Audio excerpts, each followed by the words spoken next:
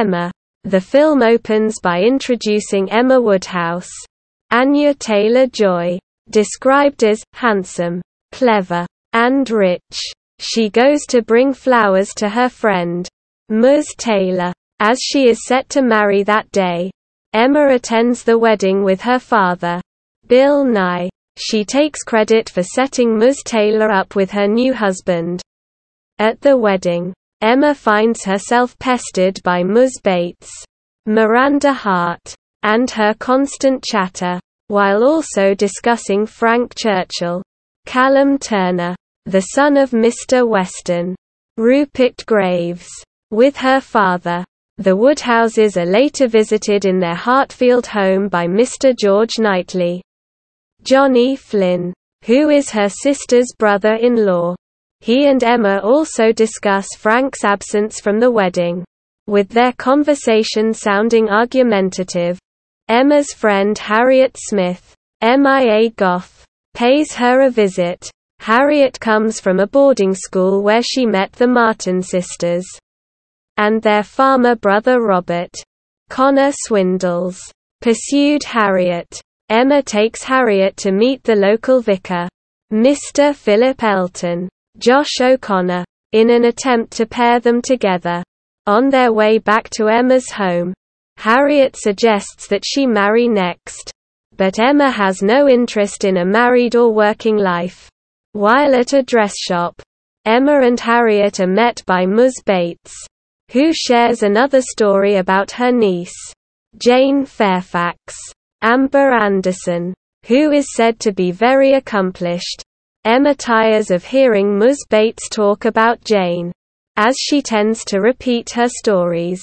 As they walk back, Harriet stops to chat with Robert.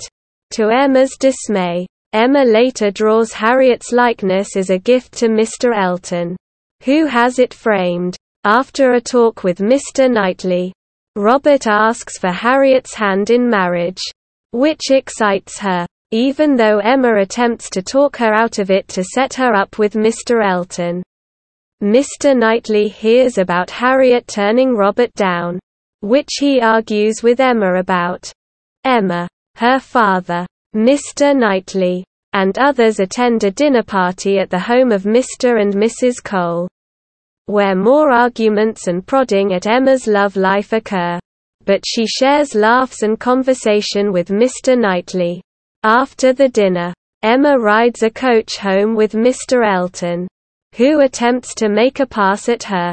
As he believed that Emma was in love with him, she turns him down and tells him she was trying to get him with Harriet. Emma later tells Harriet about this, but she does not hold it against Emma.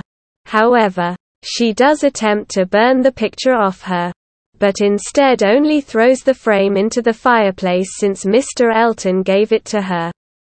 Jane comes to visit, and much attention is brought to her many accomplishments over a dinner that Ms. Bates throws.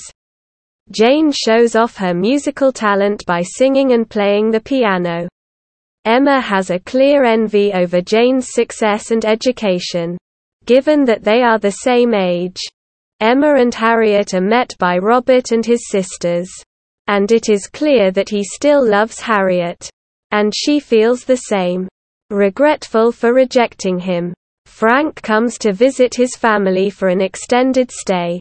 Emma spends some time with him as accompanies him into town and to gathering where Jane has received a piano from a mysterious admirer, suggested to be Mr. Knightley.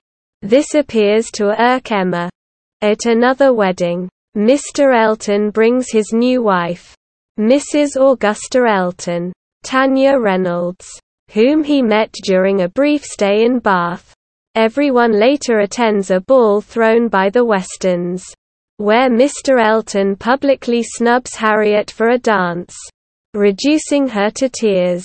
Mr. Knightley steps in and offers himself to dance with Harriet which cheers her up. Emma then shares a dance with Mr. Knightley, and their attraction toward one another appears more obvious. But Emma leaves before Mr. Knightley can tell her any more of how he feels. Emma joins everyone at a trip to Mr. Knightley's abbey.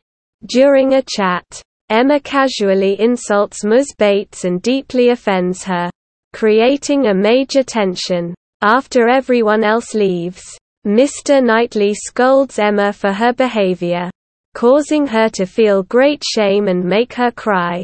She later goes to visit Ms. Bates and Jane to make amends with a basket of food. Emma later learns from the Westons that Frank has had to leave due to the passing of his aunt. But it is also revealed that he and Jane had been secretly engaged.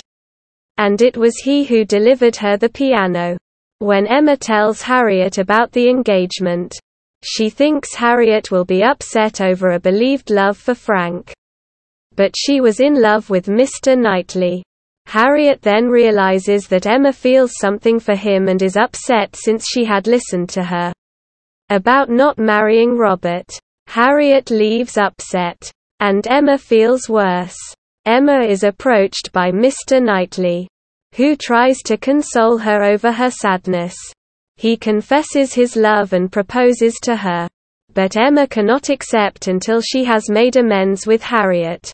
She pays Robert a visit and tries to explain herself over her actions. Robert then goes to propose to Harriet again. And she accepts. Emma and Mr. Knightley finally give in to their mutual affections and become engaged. They are later married, with many of their closest friends and family in attendance. Emma Woodhouse is a rich, beautiful, and vain woman who meddles in the love affairs of her friends. She dissuades her friend Harriet Smith from marrying a good farmer named Robert Smith in favor of the vicar Mr. Elton. However, Mr. Elton attempts to court Emma, who does not reciprocate his feelings. Emma finds herself attracted to Mr. George Knightley, but also considers a relationship with Frank Churchill. After Emma's actions make her realize she has been less than kind. She makes amends to Harriet and gets Robert to propose to her again. Which she accepts. Emma ends up marrying Mr. Knightley.